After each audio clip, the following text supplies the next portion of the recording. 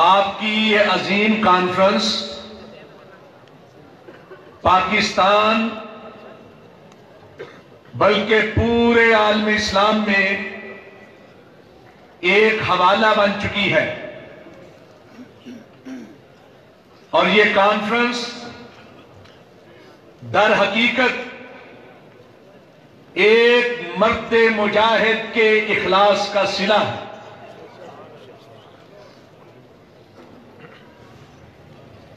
وہی بزم ہے، وہی دھوم ہے، وہی عاشقوں کا ہجوم ہے۔ کمی ہے تو صرف اسی چاند کی جو تہے خاک چلا گیا۔ میں اور میرے جیسے کئی اس کانفرنس میں تقریر کے لیے حاضر نہیں ہوتے۔ ہم آتے ہیں تو صرف اور صرف اس مرد مجاہد کی عقیدت میں آتے کہ جس کے اخلاص کو اللہ رب العزت نے یہ صلح دیا ہے کہ ہر سال اس کانفرنس میں پہلے سے زیادہ لوگ آتے اور صرف آتے نہیں، جم کر بیٹھتے ہیں۔ تین دن تک مسلسل علماء کرام کے خطابات سنتے ہیں۔ اپنے دل اور دماغ کو کتاب و سنت کی روشنی سے منور کر کے جاتے حضرات، آپ کا یہ علاقہ ایک تاریخ کا حامل ہے۔ اور اس تاریخ کو دور جدید میں اگر کسی نے تابانی بخشی ہے، تو وہ ہمارے محسن، ہمارے مخدوم حضرت کاری عبد الوکیل صدیقی رحمت اللہ علیہ۔ ایسے مردان حرف کا ذکر شخصیت پرستی نہیں سنت اللہ ہے۔ خود اللہ رب العزت نے اپنی مقدس کتاب میں اپنے پاک پاک بندوں کا ذکر کیا ہے۔ صرف انبیاء ہی کا ذکر نہیں کیا۔ ان نوجوانوں کا بھی ذکر کیا ہے۔ جن کی زندگی توحید کی خدمت میں توحید کے عقیدے کے تحفظ میں صرف ہوئی تھی۔ انہم فتیت آمنوا بربہم۔ وزدناہم ہدا اور یہ بھی اللہ رب العزت کا حکم ہے۔ وَذْكُرُوا نِعْمَةَ اللَّهِ عَلَيْكُمْ۔ اور یہ بھی حکم ہے کہ اما بنعمت رب کا فحدث۔ اللہ کی نعمت کا ذکر کرتے رہنا چاہیے۔ آپ کے لیے، آپ کے اس علاقے کے لیے حضرت قاری عبد الوکیل صدیقی کی شخصیت اللہ کی ایک بہت بڑی نعمت کی حیثیت رکھتی۔ جنہوں نے اس علاقے میں توحید کا گلگلہ بلند کیا، جنہوں نے کتاب و سنت کی تعلیم کو عام کیا، جنہوں نے تو تکلیف کے بڑے بڑے جکر اور بڑی بڑی زنجیروں کو توڑ کے رکھ دیا۔ ایک چھوٹی سی مسجد تھی محلہ خواجگان کی۔ اور آج یہ اتنا بڑا مرکز ہے کہ اس پورے علاقے میں اس مرکز کی کوئی مثال نہیں۔ آج آپ کے اس مرکز سے پڑے ہوئے فیر یافتگان پورے پاکستان میں بلکہ پوری دنیا میں جگہ جگہ اللہ کی کتاب اور سونے نبے کے فرامین کی تبلیغ کر رہے ہیں، تعلیم و تدریس میں مشغول۔ حضرت قاری صاحب نے ایک بار مجھے یہ کہا کہ ہماری یہ خواہش ہے کہ مولانا محمد اسحاق بٹی کو یہاں بلایا جائے، لیکن وہ آنے کے لیے تیار نہیں ہوتے، تم لا سکتے۔ اور محمد اسحاق بٹی کوئی چھوٹا نام نہیں ہے، بہت بڑی شخصیت، لیکن مرد درویش۔ میں نے ان سے بات کی، مئی کا مہینہ۔ وہ یہاں آئے اٹھاسی سال کی عمر میں۔ اور پھر حضرت قاری صاحب کی محبت۔ ان کے ساتھ عقیدت اور اپنے مسلک کے ساتھ جو محبت اور تعلق تھا، ایک ایک گاؤں میں جہاں جہاں اہل حدیث موجود تھے، وہاں وہاں حضرت مولانا محمد اسحاق بھٹی کو لے کر گئے اور پروگرام کیے۔ اسی پروگرام کے سلسلے میں جب ہم یہاں آئے ہوئے تھے، میں اور بٹی صاحب آپ کے قریب ہے دین پور، وہاں بھی چلے گئے۔ وہاں بھی ایک بہت بڑی خانقاہ ہے۔ اور وہاں ایک بزرگ دفن ہے، جن کو مولانا عبید اللہ سندھی کہا جاتا ہے، رحمت اللہ میں نے وہاں بات کی، میں نے کہا، آپ جانتے ہیں مولانا عبید اللہ سندھی کون تھے؟ کہہ لگے جی ہمارے بڑے تھے۔ اور میں ہی آپ کو بات بتانا چاہتا ہوں کہ مولانا عبید اللہ سندھی، رحمت اللہ علیہ ایک سکھ گھرانے میں پیدا ہوئے تھے۔ جس گاؤں میں پیدا ہوئے، وہ ہمارے پسرور کے قریب ہے، تین میل کے فاصلے پر چیئے والی۔ یتیم تھے، ننیال ان کے نان کے تھے جام پور کے اندر ضلع ڈیرا تھا، اس وقت ہوتا تھا، آج کل پور۔ وہ یہاں آگے، یہاں آ کر سکول میں پڑھنے لگے۔ تو دو کتابیں پڑھ کر وہ مسلمان ہوئے تھے۔ ایک حضرت حافظ محمد لکھوی رحمت اللہ علیہ کی جینت الاسلام اور دوسری مولانا عبید اللہ کی توفت الہند۔ اور یہ جو مولانا عبید اللہ تھے جن کی کتاب تھی توفت الہند، یہ بھی سکھ سے مسلمان ہو کر اہل حدیث۔ بوٹا سنگھ نے وہ دو کتابیں پڑھی اور مسلمان ہوئے۔ اور اپنا نام انہوں نے توفت الہند کے مسلم کے نام پر عبید اللہ رکھا۔ تو میں نے وہاں یہ عرض کیا کہ یہ دین بھی اہل حدیث کی دین ہے۔ اور یہی وجہ ہے کہ مولانا عبید اللہ صدی کے بتیجے اور بعد میں ان کے بیٹے یعنی مولانا احمد علی لاہوری رحمت اللہ علیہ، رشتے میں بتیجے تھے۔ ان کی والدہ بیوہ ہوگی تو ان کے ساتھ شادی کر لی مولانا عبید اللہ صدی اس کے ہاتھ سے بیٹے بھی۔ یہی وجہ ہے کہ مولانا احمد علی لاہوری رحمت اللہ علیہ، جنہیں شیخ التفسیر کہا جاتا ہے، وہ اہل حدیث سے بہت محبت کرتے تھے۔ اتنی محبت کہ دیوبندی وقت بیٹھ کر کے اپنے وقت کے سب سے بڑے عالم ہونے کے باوجود ساری زندگی عید کی نماز غزنوی بزرگوں کے پیچھے پڑی ہے۔ خود عید نہیں پڑھائی۔ پہلے مولانا عبد الواحد غزنوی رحمت اللہ علیہ کے پیچھے، پھر سید داؤد غزنوی رحمت اللہ علیہ کے پیچھے۔ اور یہی نہیں، انہوں نے اپنی مسجد میں ایک نوجوان کو دیکھا تحجد پڑھتے ہوئے۔ فجر کی نماز کے بعد کہنے لگے، بیٹا شادی کرو گے؟ کہنے لگے جی کرنا تو چاہتا ہوں لیکن میرے پاس کچھ نہیں۔ کہ تمہارے پاس سنت کی دولت ہے، رفع جان کرتے ہوئے میں نے تمہیں دیکھا۔ اپنی بیٹی ان کے نکاح میں دی اور یہ جانتے ہیں کون تھے؟ یہ مولانا عبد المجید سودروی رحمت اللہ علیہ۔ صرف یہی نہیں کہ بیٹی کا نکاح کیا، یہ بھی لکھا ہے تاریخ کی کتابوں میں کہ بیٹی نے آ کر ایک بار شکوا کیا۔ کہ ابا جی میرا خامت مجھے کہتا ہے، نفل دین کیا کرو۔ تو مولانا احمد علی لاہوری نے کہا، بیٹا، ضرور کیا کرو۔ لوگوں کو رفل دین کا ایک سواب ملتا ہے، سنت پہ عمل کرنے کا، تمہیں دورہ سواب ملے گا۔ ایک سنت پہ عمل کرنے کا، ایک خامد کی اطاعت یہ بات در بات اس لیے آ گئی کہ آپ کا یہ علاقہ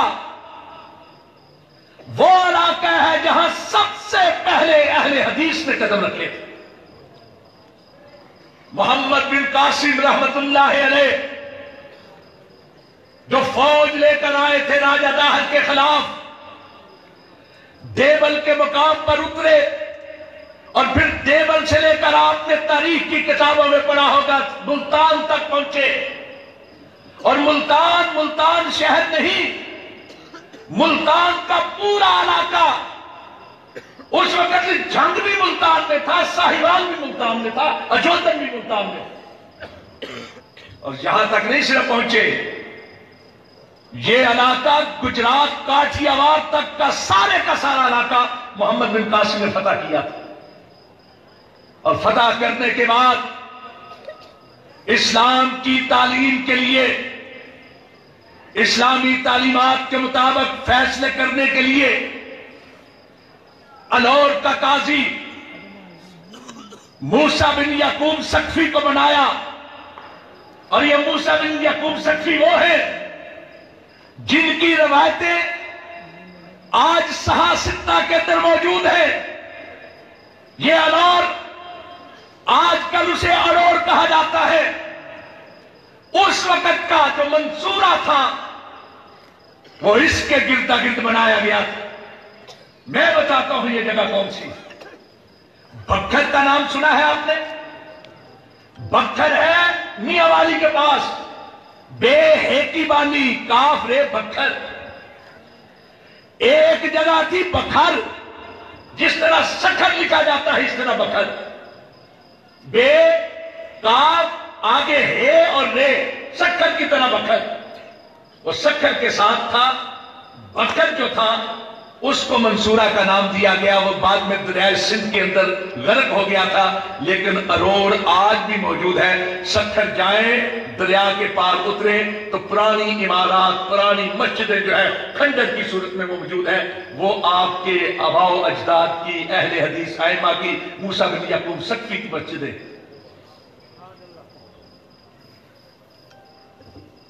اسی علاقے سے اٹھے۔ ابو باشر نجی سندھی جنہیں بعد میں مدنی کہا گیا، اس لیے کہ مدینہ ہے تیرا کے بہت بڑے محدث اور امام ہوئے۔ یہیں سے اٹھے۔ ابو رجا سندھی عباسی دور کے دارالحکومت بغداد کے اندر بیٹھ کر درس حدیث دیا اسی علاقے سے اٹھے، ان کے پوتے محمد سندھی، دوسرے پوتے خلف سندھی، اور حضرات صرف یہی تک نہیں، محمد بن قاسم کے بعد جس کو اموی حکمرانوں نے سلمان بن عبد الملک نے اس علاقے کا حاکم بنا کر بھیجا، ان کا نام تھا یز بن ابی کشا، دمشقی، وہ اس علاقے کے حکمران بنے۔ اور صرف حکمران نہیں تھے، بہت بڑے اہل حدیث، محدث تھے، امام تھے۔ انہوں نے براہ راست تابی تھے۔ انہوں نے حضرت مدردہ سے روایت کی، حضرت شرحبیل سے روایت کی، مروان بن حکم سے روایتیں کی۔ اور ان کے پانچ شگرد براہ راست جو ہے، بخاری شریف کے راوی۔ حکم بن اتیبہ علی بن اکبر، یہ اہل حدیث کا علاقہ تھا، اہل حدیث کی حکومت تھی یہاں۔ اور یہی وجہ ہے کہ بعد میں ایک سیاح یہاں آیا، جسے تاریخ میں ابو البشار مقدسی کے نام سے یاد کیا جاتا ہے۔ اس نے کتاب لکھی آسن التقاصیر فی معرفت تعلیم اس نے واضح طور پر لکھا کہ سندھ کے علاقوں کے اندر جو مسلمان ہیں، ان کے اندر اکثریت اہل حدیث کی۔ اور یہ چیزیں آج کل تو کئی کتابیں آ گئی ہیں، صرف دیبل کے حوالے سے جو محدثین تھے نا دیبل کے، جہاں راجہ داہر کی حکومت ہوا کرتی تھی، ان ان کے اوپر بڑی بڑی منصوب کتابیں آ گئی۔ یہ علامہ حیات سندھی دوسرے تھے بہت بات کے میں یہ عرض کر رہا تھا، یہ آپ کے علاقوں کے اندر جو اسلام پھیلا، یہ آپ کے بڑوں کی دین ہے اس کی اگر حفاظت کی ہے کسی نے تو کالی عبد الوکیل صدیقی نے کی، ان کے ساتھیوں نے کی ہے، وہ دنیا سے چلے گئے۔ لیکن یہ ذمہ داری آپ کے کندھوں پر ڈالتے چلے گئے۔ اس لیے آج یہاں بیٹھ کر میرے ساتھ اللہ کو جانتے ہوئے، اللہ کو سامنے رکھتے ہوئے، اللہ کے ساتھ وعدہ مانتے ہوئے میرے ساتھ یہ عہد کریں کہ جب تک زندہ رہیں گے، ہر سال کانفرنس میں آیا کریں گے۔ ہاتھ اٹھا کر، ہر سال کانفرنس میں آیا کریں گے۔ اور صرف آئیں گے نہیں، جو علماء کرام کہیں گے، وہ دل پہ نش کر کر لے کے جایا کریں گے۔ یہ بھی وعدہ کریں گے۔ کہ ہم عامر کو کبھی اکیلا نہیں چھوڑیں گے۔ اور یہ دعا بھی کریں گے کہ اللہ اس نوجوان کو اپنے والد کے نقش قدم پر چلنے کی توفیق عطا فرما۔ جس طرح انہوں نے مسلک کی خدمت کی ہے، اسی طرح اس نوجوان کو بھی مسلک کی خدمت کرنے کی توفیق عطا فرما۔ حضرات، میں تعلیم کا ایک طالب علم کل کا دن گزرا ہے۔ یوم پاکستان کے نام پر منایا گیا۔ لیکن ہمارا معاملہ یہ تھا کہ ہم نے اس کو دو حیثیتوں سے یاد رکھا۔ یوم پاکستان تو ہے، حب وطن بھی ایمان ہے، لیکن ہمارا معاملہ یوم پاکستان کے ساتھ باقی پاکستانیوں والا نہیں۔ اس لیے کہ یوم پاکستان یاد دلاتا ہے قرارداد پاکستان کی۔ اور میں جانتا ہوں کہ پاکستان کی قرارداد آپ کے ایک عالم مولانا غلام رسول مہر کے ہاتھ کی لکھی ہوئی تھی۔ شیر بنگال، مولوی فضل حق اہل حدیث فرازی تحریک کے ورثہ میں سے ایک بلکہ میں یہ کہوں تو بے جانا ہوگا کہ ڈھاکہ کے اندر انیس سو چھ میں مسلم لیگ بنانے کے لیے نواب سلیم اللہ خان کے گھر جو میٹنگ ہوئی، اس کے اندر زیادہ تر لوگ وہ تھے جو شاہ ولی اللہ رحمت اللہ علیہ کے بیٹوں کی تحریک وہاں بھی تحریک سے تعلق رکھتے تھے یا فرائضی تحریک سے تعلق رکھتے تھے فرائضی مومنٹ۔ جس کا بڑا میدان بنگال اور بہار کے علاقے تھے، ان سے تعلق رکھتے تھے۔ خود نواب سلیم اللہ خان کے بڑے فرادی تحریک کے بڑوں میں سے تھے۔ نواب وقار الملک، نواب محسن الملک، دونوں بھائی۔ اور نواب محسن الملک تو وہ ہے جنہوں نے تقلید کے خلاف باقاعدہ ایک مقصود کتاب لکھی۔ اور اسی اجلاس کے اندر میاں عبد العزیز مالواڈا بیرسٹر تھے لاہور کے۔ ان کو بھی بلایا گیا۔ اور میاں عبد العزیز مالواڈا صرف برسٹر نہیں تھے، پاکستان بننے کے بعد ہمارے ابا و اجداد نے مولانا سید دعود گدنوی کی عمارت میں، پروفیسر عبد القیوم کی نظامت میں، بعد میں شیخ الحدیث مولانا اسماعیل سلفی رحمت اللہ علیہ کی نظامت ان کے ساتھ تیسرے ناد میں مالیات، میاں عبدالعزیز مالواڈا تھے۔ اور جب پاکستان بنا، اس وقت لاہور مسلم لیگ کے صدر میاں عبدالعزیز مالواڈا تھے۔ اور امرتسر ضلع کے مسلم لیگ کے صدر سید اسماعیل غزنوی رحمت اللہ علیہ تھے۔ حضرات تحریک پاکستان میں، قرارداد پاکستان کی بڑی اہمیت ہے۔ اسی کی مناسبت سے تیئیس مارچ کے دن کو یوم پاکستان کہا جاتا ہے کہ تیئیس مارچ انیس سو چالیس کو لاہور کے منٹو پارک میں، جہاں آج کل مینار پاکستان سینہ تان کے کھڑا اللہ کی شہادت کی گواہی دے رہا ہے۔ اسی مقام پر انیس سو چالیس تیئیس مارچ کو ایک قرارداد پاس ہوئی تھی۔ یہ قرارداد در حقیقت اس قرارداد کی بنیاد پر بڑی جو انیس سو اڑتیس کے آل سندھ اجلاس، مسلم لیگ کے سندھ اجلاس، کراچی کے اندر بارہ تیرہ اکتوبر کو پاس ہوئی اور وہ قرارداد مولانا غلام رسول مہر کی لکھی ہوئی تھی۔ صرف قرارداد نہیں تھی، بلکہ مسلم لیگ کے مختلف لوگوں نے پورے بر صغیر کے نقشے لے کر اداد و شمال کی رپورٹیں لے کر یہ فارمولہ سامنے رکھتے ہوئے کہ جس علاقے کے اندر مسلمانوں کی اکثریت ہے وہ مسلمانوں کے حوالے یعنی پاکستان میں شامل کیا جائے۔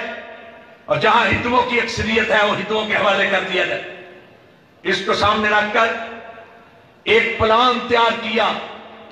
اس پلان کا نام تھا سکیم آف پاکستان۔ اس پر باقاعدہ پیر علی محمد راشدی نے ایک انگلش میں کتاب لکھی۔ اس کتاب کا نام ہی سکیم آف پاکستان ہے۔ ایک کتاب مولانا غلام رسول مہر کی زندگی پر لکھی گئی حیات مہر۔ پھر مولانا کے خطوط ہیں۔ ان کا ایک مجموعہ ہے افادات مہر۔ پھر ایک کتاب ہے رو میں ہے رکش کمر رکش عمر۔ اس طرح اور کتابیں۔ یہ مولانا غلام رسول مہر کی نگرانی میں۔ اور جانتے ہیں مولانا غلام رسول مہر کو میں کیوں اتنے وسوخ کے ساتھ اہل حدیث کہہ رہا ہوں اس لیے کہ جب پہلی برسری جمعیت اہل حدیث پاکستان قائم ہوئی، اس نے باقاعدہ کتابیں شائع کی کتابوں کے نام سنے، آپ حیران رہ جائیں۔ آج بھی میں اپنے نوجوان خطبہ سے ہی عرض کروں گا، اپنے اساتذہ سے ہی عرض کروں گا کہ اپنے مسلک کو سمجھنے کے لیے ان کتابوں پر ضرور اپنے مطالعہ میں رکھیں۔ ایک کتاب حسن البیان مولانا عبدالعزیز رحیم آبادی کی دوسری کتاب الارشاد الى سبیل ارشاد مولانا شاہ جہان پوری کی ایک کتاب تقویت الایمان، شاہ اسماعیل شہید بالا کوٹ کے شہید، سید احمد بریلوی کی تحریک پر تقویت دینے والے اور پورے بر صغیر کے اندر انگریز اور سکھوں کے ناک کا بند کر دینے والے شاہ اسماعیل شہید، توحید کے اوپر ان کی کتاب پچھلے ادوار کے اندر اس پر پابندی لگائی گئی، لیکن توحید کی بہترین کتاب اسی طرح ایک اور کتاب تھی۔ یہ کتابیں مرض کی جمعیت اہل حدیث نے شائع کی اور ان کو سلیس اردو کی شکل مولانا غلام رسول مہر نے دی تھی۔ اب ان کتابوں کے اندر جس طرح مسئلہ کو بیان کیا گیا ہے، اور یہی نہیں، تحریک مجاہدین کے اوپر انہوں نے کئی کتابیں لکھی۔ سید احمد بریلوی کی زندگی پر دو حصوں میں کتاب لکھی۔ اٹھارہ سو ستاون کے مجاہد یہ کتاب لکھی۔ تحریک سیدین ایک کتاب لکھی۔ اس طرح اور کئی کتابیں لکھی۔ تحریک وہابی تحریک کے بارے میں۔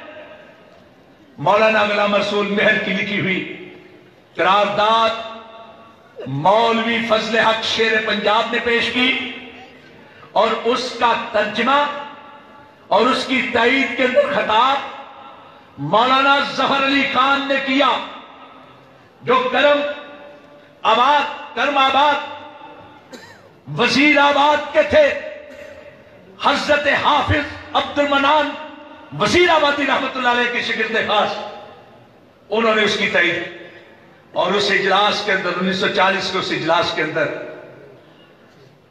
بنگال سے آئے ہوئے تھے مولانا کرم خان، جو دو رسالے نکالتے تھے، ایک محمدی، روزنامہ محمدی، اور ایک بنگلہ اخبار تھا، آزاد۔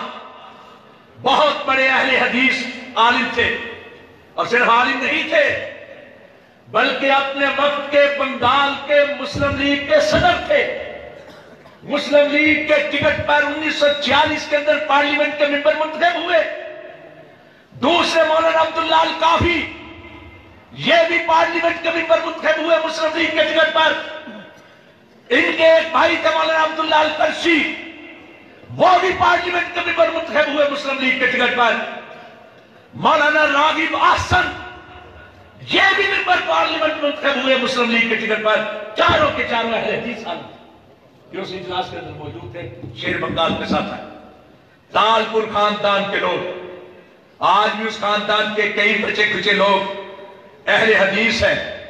آج سے چند سال پہلے حیدرآباد کی مسجد جمعیت کے امیر بھی ایک تال پور سردار تھے۔ پھر اس اجلاس کے اندر حضرت حافظ محمد گوندلوی رحمت اللہ علیہ موجود تھے۔ مولانا ابراہیم میر سیال کوٹی موجود تھے۔ مولانا عبداللہ اور موجود تھے۔ مولانا اسحاق حنیف موجود تھے۔ مولانا میاں عبدالعزیز مالواڈا تھے۔ کئی اور لوگ موجود تھے۔ اور ایک شخص ملانگ کے روم میں نہ صرف موجود تھا، بلکہ بڑے بڑے تحریک پاکستان کے رہنماؤں کے ساتھ، کبھی سرگوشی میں بات کرتا، کبھی ویسے بیٹھ کر بحث کرتا، اور یہ وہ ملنگ تھا جس کے ہاتھ پر نواب بہادر یار جنگ نے باقاعدہ بیعت کی تھی۔ یہ وہ ملنگ تھا جس کی باقاعدہ ملاقات حضرت قائد اعظم سے کروائی گئی اور جس نے کہا حضرت قائد اعظم کو کہ آپ پاکستان کی دھرتی لے کے ہمیں دے دیں۔ سرحدیں ہمارے نگرانی میں کر دینا۔ ہم سرحدوں کی حفاظت کریں گے۔ یہ وہ شخص تھا جس کے سر کی قیمت انگریز نے لگائی ہوئی تھی اور یہ روپ بدل بدل کے پورے بر صغیر کے اندر دورے کر رہا تھا۔ لوگوں سے جہاد کی بیعت لے رہا تھا۔ انگریز کے خلاف مجاہدین کے جتھے تیار کر رہا تھا جگہ جگہ جا کر لوگوں کو پاکستان اور مسلم لیگ کی حمایت کے اندر تیار کر رہا تھا۔ یہ کوئی اور نہیں۔ جماعت مجاہدین کے امیر حضرت مولانا فضل الہی وزیر آبادی رحمت اللہ علیہ، جو کبھی کسی روم میں، کبھی کسی۔ کا ریفرنڈم انہوں نے چیت کے دکھایا۔ آپ کے سرحد کا ریفرنڈم بڑی مشکل تھی۔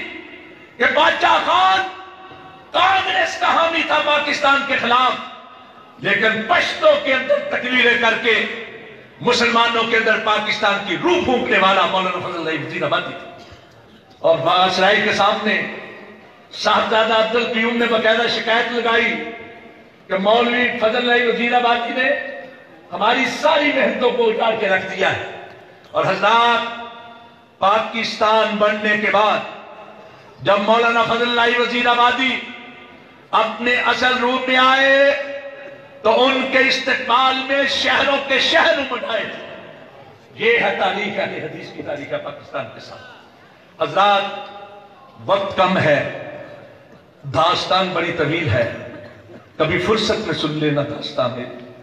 حضرات، پاکستان بننے کا کلیہ کیا تھا کہ انگریز جا رہے تھے۔ لیکن کلیہ کیا تھا کہ جس کی وجہ سے تقسیم ہو؟ کلیہ یہ تھا کہ جہاں مسلمانوں کی اکثریت ہے، مسلمانوں کے حوالے۔ جہاں ہندو کی اکثریت ہے، یہ ہندوؤں کے حوالے۔ سب سے پہلے تحریر کی شکل میں یہ مطالبہ۔ اٹھارہ اپریل اٹھارہ سو نبے کو لکھنؤ کے ایک رسالے المحزم میں شائع ہوا۔ لکھا کس نے؟ بہت بڑے تاریخ دان اردو کے مشہور تاریخی ناول نگار حضرت میاں نظیر سین دہلوی کے شگرد خاص، مولانا عبد الحلیم شرر رحمت اللہ علیہ نے۔ محذب کے مدیر تھے، انہوں نے یہ سب سے پہلے۔ دوسری بات یہ بات، دنیا کے سامنے آئی۔ انیس سو دو کے اندر ہوم اسٹاک میں ایک کانفرنس ہوئی۔ انڈیا کے حوالے سے، انڈیا کے مسئلے کے فیصلے کے لیے، انڈیا کے قضیے کے فیصلے کے لیے۔ بر صغیر سے دو بھائی گئے، ڈاکٹر عبدالستار خیری، ڈاکٹر عبد الجبار خیری۔ انہیں خیری برادران کہا جاتا تھا۔ انہوں نے بھی یہی کلیہ دیا کہ اگر بر صغیر کا من چاہتے ہو، تو مسلمانوں کا علاقہ مسلمانوں کے حوالے، ہندوؤں کا علاقہ ہندوؤں کے حوالے کر دیا جائے۔ اور حضرات، یہ خیری برادران گئے، دو تھے لیکن تین تھے۔ تیسرے بھائی کا نام تھا ڈاکٹر عبد الغفار الخیری۔ پہلے دو بھائی پہلے فوت ہو گئے۔ ڈاکٹر عبد الخیر عبد الغفار الخیری آج سے دس بارہ سال پہلے فوت ہوئے ہیں۔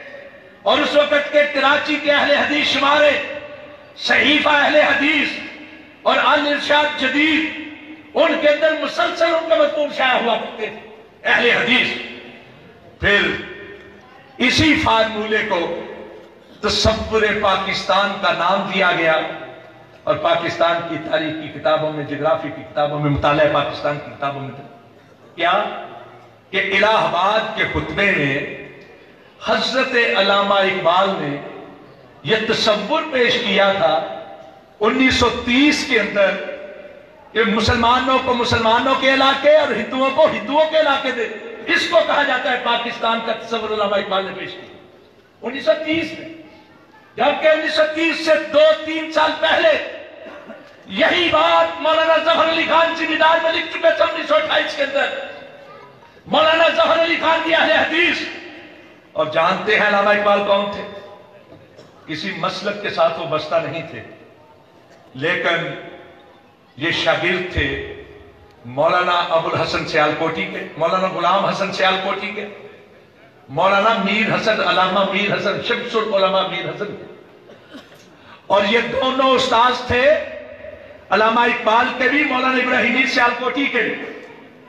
اور یہی وجہ ہے کہ علامہ میر حسن نے یہ وسیعت کی تھی کہ اگر میں مر جاؤں تو میرا جنازہ مولوی ابراہیم میرا شگرد پڑھائے چنانچہ حاجی پور کے حاجی پور کے گراؤنڈ کے اندر امام الحسن مولانا محمد ابراہیم میر سیال کوٹی نے علامہ میر حسن کا جنازہ پڑھایا۔ علامہ اقبال لاہور سے گئے۔ وزیر آباد تک مال گاڑی کے اندر وزیر آباد سے ٹانگے پر بیٹھ کر سیال کوٹ پہنچے۔ جنازہ ان کے انتظار میں لیٹ ہوا۔ اور یہ اقبال وہی ہے جنہوں نے یہ کہا تھا کہ تقلید کی روش سے بہتر ہے خودکشی۔ تقلید کی روش سے بہتر ہے خودکشی۔ رستہ بھی ڈھونڈ، کدھر کا سودا بھی چھوڑ۔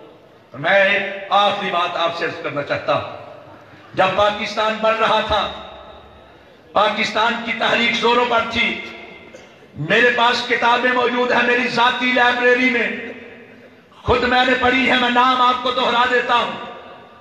ایک کتاب ہے تجان بے اہل سنت، دوسری کتاب ہے قہر القادر علام مسلم لیگی لیادت تیسری کتاب ہے مسلم لیگ کی ذری بقیادری چوتھی کتاب ہے الجوابات السنیہ السوالات اللیگیہ۔ ایک کتاب ہے الاعلام۔ بے ہندوستان دار السلام ان کتابوں کے اندر تحریک پاکستان کی مخالفت کی گئی، تحریک آزادی کی مخالفت کی گئی، مسلم لیگ کے لیڈروں کو کافر اعظم، علامہ حضرت قائد اعظم کو کافر اعظم، مسلم لیگی لیڈروں کو جہنوی کتے تک لکھا گیا۔ ایک اور کتاب ہے جو در حقیقت پرویر رسینہ نام کی ایک خاتون نے پی ایچ ڈی کا مقالہ لکھا ہے جمعیت علماء ہند کے بارے میں۔ اس کے مقدمے میں بھی بعض لوگوں کے بارے میں کہا کہ انہوں نے قائد اعظم سے ایک بڑا فنڈ مانگا، بڑی رقم مانگی۔ قائد اعظم نے انکار کر دیا تو انہوں نے پاکستان کی تحریک کا مخالفت شروع کر سارے مقام پہ فکر میں سے ایک اہل حدیث وقت پہ فکر تھا جو کھل کر اجتماعی طور پر پاکستان اور تحریک پاکستان کی حمایت کر رہا تھا۔ مولانا سنا اللہ مرسلی رحمت اللہ علیہ، مولانا ابراہیم میر سیال کوٹی رحمت اللہ علیہ، مولانا ابو القاسم رحمت اللہ علیہ، مولانا راغب آسر انہوں نے مسلم لیگ کی حمایت میں اہل حدیث لیگ کے نام سے ایک تنظیم قائم کی۔ اس وقت اہل حدیث کی تنظیم تھی آل ان کی اہل حدیث کانفرنس لیکن ساتھ ساتھ یہ، اور حضرات صرف یہی نہیں، مولانا ابراہیم میر سیال کوٹی نے دو کتابیں لکھی پاکستان اور تحریک پاکستان کی شریع طور پر حمایت کے حوالے سے۔ اور یہی وجہ ہے کہ حکومت پاکستان نے بعد مرک مولانا ابراہیم میر سیال کوٹی کو تحریک پاکستان کا گولڈ میڈل دیا۔ اور یہاں بات آئی ہے تو سن لیں۔ ہمارے امیر امیر محترم جناب پروفیسر ساجد میر کا گھرانہ پورے پاکستان کا واحد گھرانہ ہے، جن کے گھر کے اندر تحریک پاکستان کے دو گولڈ میڈل سرکاری طور پر ملے۔ ایک ان کے دادا مولانا ابراہیمی سیال کوٹی کو، ایک ان کے برادر نسبتی جناب خواجہ محمد تفیل کو۔ حضرات، ایک تو اس حوالے سے تیئیس مارچ ہمارے لیے ہم اور دوسرا اس حوالے سے کہ یہی تو وہ دن ہے جس دن ہمارے عظیم قائدین کا خون بہایا گیا۔ ہم ہیں پہلے لوگ کہ پاکستان میں بم دھماکے کا نشانہ بنائے گئے۔ وہ تیئیس مارچ کی رات ہی تھی جب اہل حدیث کا شیر گرج رہا تھا مینار پاکستان کے سائے میں۔ کون؟ علامہ سعد الہی ظہیر شہید رحمت اللہ علیہ۔ مولانا حبیب الرحمن یزدانی شہید رحمت اللہ علیہ. مولانا عبد قدوسی رحمت اللہ علیہ. نوجوانوں کے سرخیل، محمد خان نجیب شہید رحمت اللہ علیہ. حضرات، اس وقت سیاہ کی آمریت کا سورج سوانیزے پر تھا. اگر کوئی شخص آمریت کو للکار رہا تھا، بڑے بڑے سیاستدان کہلانے والے ملک سے باہر آ گئے تھے. یا آمریت کی گود میں تھا پھر دبک کے بیٹھ گئے تھے۔ کوئی اونچی سانس لینے کے لیے تیار نہیں تھا۔ ایک شخص تھا جو ممبر پر بھی للکار رہا تھا سریام بھی للکار رہا تھا، جو صبح و شام ایک ہی بات کہہ رہا تھا کہ اہل حدیث ڈرتے ہیں تو صرف رب سے ڈرتے ہیں اور کسی سے نہیں ڈرتے۔ جو یہ کہہ رہا تھا کہ جیئیں گے، رب کے قرآن کے لیے جیئیں گے، یا سونے مدینے والے کے فرمان کے لیے جیئیں گے، وہ کوئی اور نہیں۔ ہمارا قائد، ہمارا مرشد، ہمارا مخدوم احسان الہی ظہیر تھا، رحمت اللہ علیہ۔ خائب تھے مختصر سے، جب سارے بادکش مجھ کو یہ افتخار کہ میں میں کہتے ہیں اس لحاظ سے بھی تیئیس مارچ ہمارے لیے اہمیت کا حامل ہے۔ وہ مینار پاکستان، جہاں پاکستان بنانے کے لیے ہم نے قرارداد پیش کی، اسی مینار پاکستان کے سائے میں استحکام پاکستان کے لیے خون دیا تھا۔ حضرات، آج بھی ہمارا بوڑھا قائد، ہمارا بوڑھا امیر، جس کے جذبے جوانوں سے زیادہ جوان ہے، جو بیاسی تراسی سال کی عمر ہونے کے باوجود صبح و شام اہل حدیث کے سر کو بلند کیے ہوئے ہیں۔ اور یہ بھی ہمارا اعزاز کہ مشرف کی آمریت میں اس وقت بھی صورتحال آپ کے سامنے ہے۔ اور جب اس کی صدارت کے لیے پارلیمنٹ میں ووٹ پڑا، قومی اسمبلی، سینٹ، سندھ کی اسمبلی، پنجاب کی سمائی اسمبلی، بلوچستان کی سمائی اسمبلی کے پی کے کی سمائی اسمبلی، سارے کے سارے لوگ مشرف کو ووٹ دے رہے تھے۔ اگر کوئی شخص سینہ تان کر یہ کہہ رہا تھا، میں وہابی ہوں، وہابی کا بیٹا ہوں، جس چیز کو حق سمجھتا ہوں، اس سے پیچھے نہیں ہٹ سکتا۔ ایک اکیلا ووٹ مشرف کے خلاف پڑا تھا اور وہ کسی اور کا نہیں۔ ہمیں فخر ہے کہ ہمارے امیر ساجد میر کا ووٹ میں پھر آخر یہی بات ارز کرنا چاہتا ہوں۔ تقریر آپ سنیں گے علماء کرام کی۔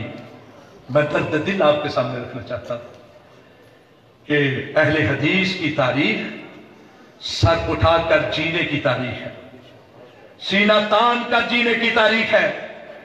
حق کا پرچم بلند کرنے کی تاریخ ہے۔ کتاب و سنت کے لیے زندگیاں بسر کرنے کی تاریخ ہے۔ آپ جتنے لوگ یہاں بیٹھے ہیں، کوئی کم تعداد نہیں۔ ہمارے امام امام احمد بن حنبل نے کہا تھا، اگر ایک شخص پوری دنیا کے اندر ایک اکیلا حق پر ہو، اگرچہ وہ پہاڑوں کی چوٹی پر کہیں دور دراز ہو، وہی سواد اعظم ہے۔ سواد اعظم وہ ہے جس کے پاس حق ہو۔ آج سواد اعظم ہے آج وعدہ کریں جیے گے تو حق کے لیے جیے جیے گے تو حق کے لیے مریں گے تو حق کے لیے نعرہ تکبیر دل سے دل سے نعرہ تکبیر نعرہ تکبیر نعرہ تکبیر کتاب و سنت کتاب و سنت مرسی جمعیت اہل حدیث پاکستان اہل حدیث یوتھ فورس پاکستان، حضرت قاری عبد الوکیل رحمت اللہ علیہ اقول قولی حضرت